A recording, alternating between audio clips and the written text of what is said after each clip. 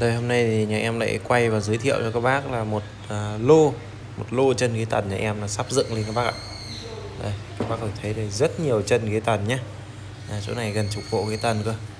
À, ghế tần thì hiện tại bên xưởng em bán rất là chạy, bán rất là chạy. Thì à, đây các bác có thấy là đủ các loại chân à, à, chân này là chân à, đôn này, Đấy, chân đôn này, Đấy, chất liệu à, gỗ hương đá các bạn. Đây chân đôn này, chân rất đẹp chân ờ, đôn này chân ờ, ghế này. Đó chân ghế các bác chân ghế 12 gỗ hương.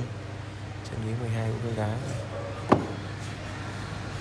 Toàn bộ chỗ này là một lô hàng ờ, nguyên hàng chân này. Thợ đang phanh nguyên chân ghế tần đây là chân bàn của nó này. Chân bàn rất nhiều chân bạn các bạn Đấy, các bạn tha hồ lựa chọn luôn. Sắp tới là sửa và ra một loạt một loạt rất là nhiều ghế tần. Đấy, các bác thấy nhìn một chồng đây nguyên chân ghế tần thủy hoàng bác nhé. Đấy, đây chỗ này hiện tại hôm nay là xưởng vành nguyên chân không? Vành nguyên chân ghế tần của các bác nhé.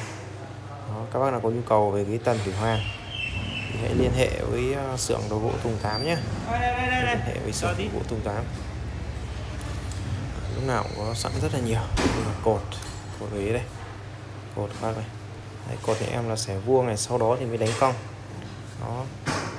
Rất là nhiều hàng luôn. Đó, chủ yếu là gỗ hương đá. Chỗ này kho này hương đá.